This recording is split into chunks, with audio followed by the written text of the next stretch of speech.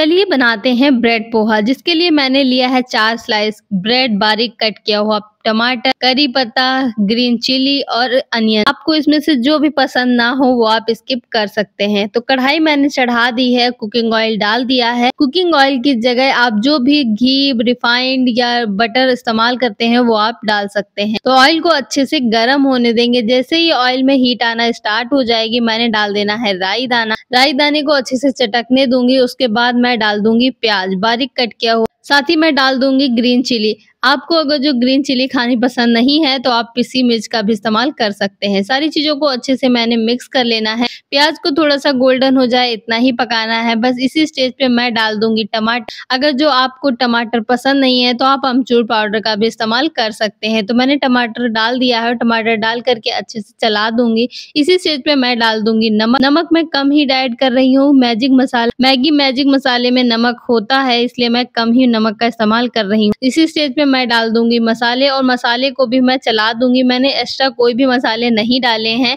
आप चाहे तो इसी स्टेज पर जो भी मसाले खाने पसंद करते हो, हल्दी, मिर्चा, धनिया, वो आप डाल सकते हैं। अगर जो आप मैगी मसाला डाल देते हैं तो फिर कुछ भी मसाले डालने की ज़रूरत नहीं होती है। जब तक मसाला अच्छे से कुक हो रहा है, तब तक मैंने ब्रेड के स्लाइस को कट कर लेना है। आप अपने मन चाहे सेफ़ में कट कर सकते हैं। अगर जो आप कट करना नहीं चाहते हैं तो हाथों से क्रश भी कर सकते हैं। जितना बारीक चाहे क्रश कर सकते हैं, या आप टुकड़ों में भी क्रश कर सकते हैं। मैंने स्क्वायर शेप में छोटे छोटे पीसेस कट कर लिए हैं।